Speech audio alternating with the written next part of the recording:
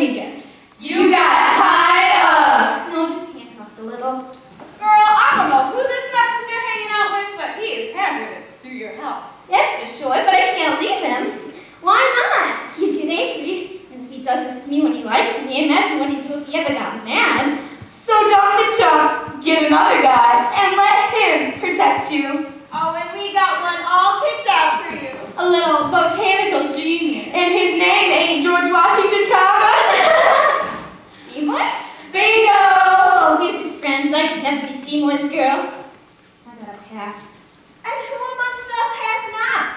I don't even deserve a sweet, considerate, suddenly successful guy like Seymour. Mm. This child suffers from low self-image. You have a point. She have a problem.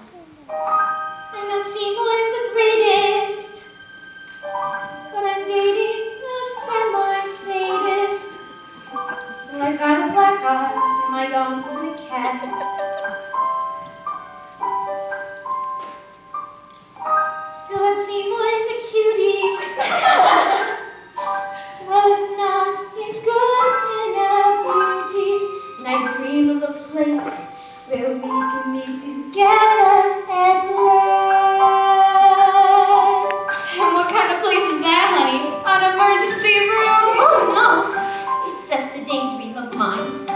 development I dream of just off the interstate. Not fancy like Levittown. Just a little street in a little suburb, far, far away from urban skid row. The sweetest, greenest place where everyone has the same little lawn out front and the same little flagstone patio out back. All the houses are so neat and pretty because they all look just alike. I dream about it all the time. Just me toaster and a sweet little guy like Seymour.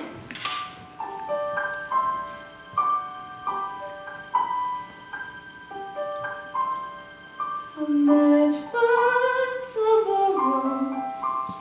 a fence of real chain link, a grill out on the patio,